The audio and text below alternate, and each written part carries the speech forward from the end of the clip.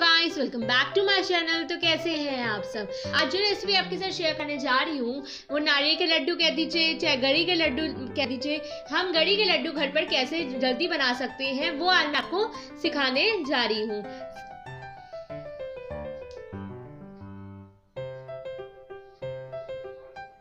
Video start करने से पहले, अगर आपने मेरे चैनल को सब्सक्राइब नहीं किया है तो कर लीजिए and don't forget to press the bell icon जिससे कि मेरी वीडियो की नोटिफिकेशन आप तक पहुँच सके। तो सबसे पहले मैंने कढ़ाई चढ़ा दी है। उसमें मैं एक कटोरी मावा डाल दूँगी। मावा खोया, आप जो कहते हो।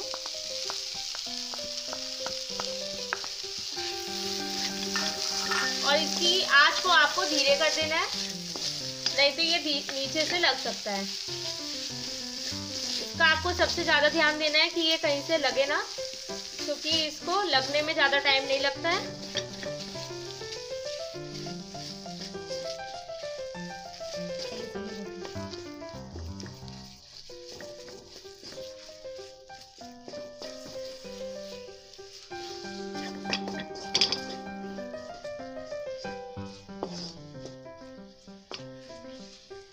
तो हम इसको अच्छे से भून लेंगे।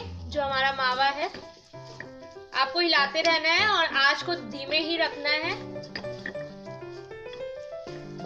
नहीं तो ये नीचे से जल सकता है।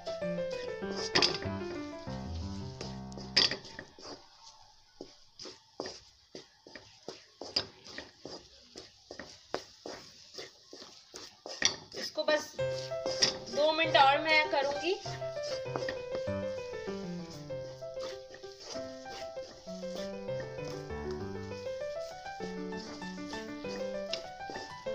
तो अब आप देख सकते हैं, ये हमारा हो चुका है हम इसकी गैस की आँच बंद कर देंगे। आप इसको हिलाते रहें, क्योंकि जो कढ़ाई का तलवा है, वो गर्म है तो इससे ये सड़ सकता है, नीचे से इसको लग सकता है।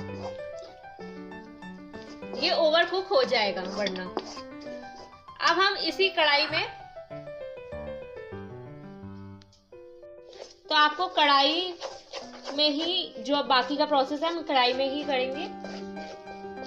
ये थोड़ा ठंडा हो चुका है, पर थोड़ा गर्म होना चाहिए। अब हम इसमें एक कप चीनी डाल देंगे। मैंने इसको गैस उतार लिया है और थोड़ा ठंडा कर दिया है।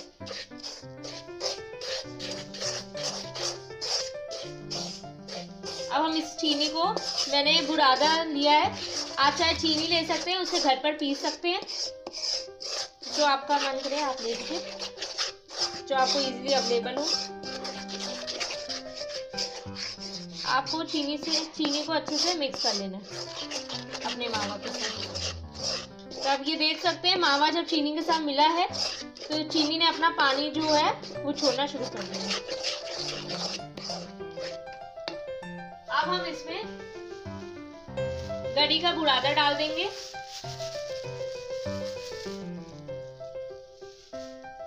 और इसे मिक्स कर लेंगे। आप घर में जो गड़ी आती है, गड़ी का गोला जो आता है, उसे भी आप कद्दूकस कर सकते हैं। या फिर बाज़ार से आप ले आए गड़ी। आजकल लोगों पास इतना टाइम नहीं होता है तो बाज़ार से ले आते हैं। पर आप जो करना चाहें। टेस्ट में कोई फ़र्क नहीं पड़ेगा आपके। मैंने तो गड़ी का बाहर से पैकेट लिया है। आप चाहें तो घर पे भी कर सकते हैं। ये जो हम गड़ी के लड्डू बनाएँगे, वो बहुत ही झटपट घर पे बन जाते हैं। बस आप देखेंगे 10 मिनट में ये आपका गड़ी के लड्डू घर पर बन जाएँगे। थोड़ा सा आप गड़ी का बुरादा रख लीजिएगा। जब हम गोले बनाएँगे, लड्डू बनाएँगे तो हम उसको ओवर कोट कर देंगे उससे।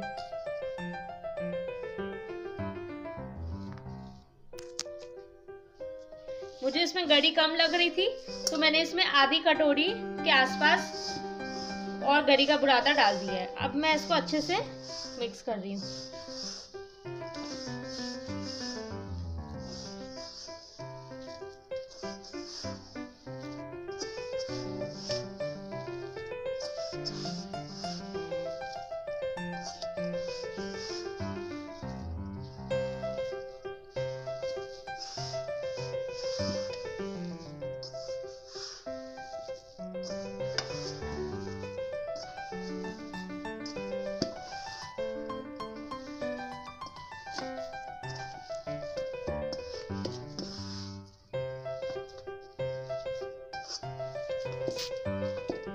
ये देखते हैं।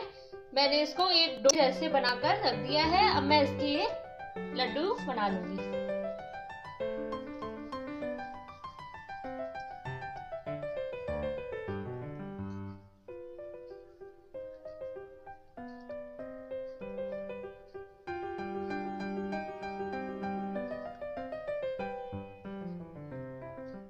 देखिए, मैंने लड्डू बना लिया अब दूसरी तरफ़ ये मैंने प्लेट में गरी का वो ले लिया, बारूदा। अब इसमें हम इसको अच्छे से ओवर कोट कर देंगे और इसको रख देंगे। अब मैं दूसरा लूँगी।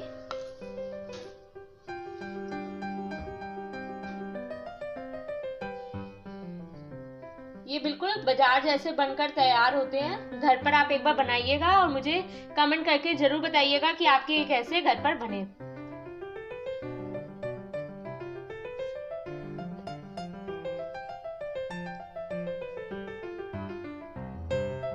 अब ये लड्डू हमारा बन गया है। अब हम गरी के बुरादे से इसे कोट कर लेंगे।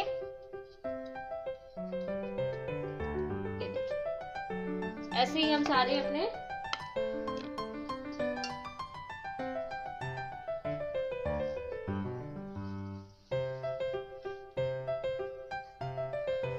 ये सिर्फ़ 10 मिनट में बनकर तैयार हो जाती है मिठाई। इसमें आपको कोई झंझट कुछ नहीं करना पड़ता। ये झटपट बनने वाली रेसिपी है हमारी। जब भी आपका मीठा खाने का मन करे, आप इसको बनाएँ और खाएँ।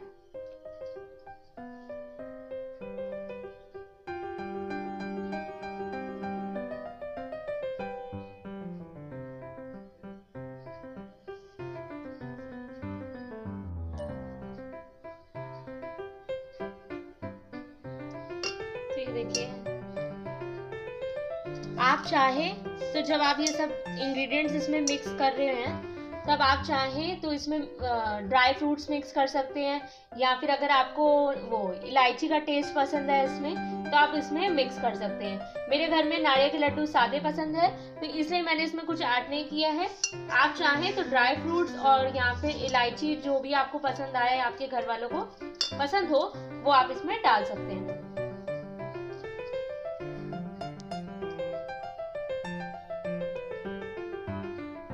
ये देख सकते हैं, ये सारे लड्डू बनकर तैयार हो चुके हैं। मैं इसको कोटिंग कर लूँगी सबको।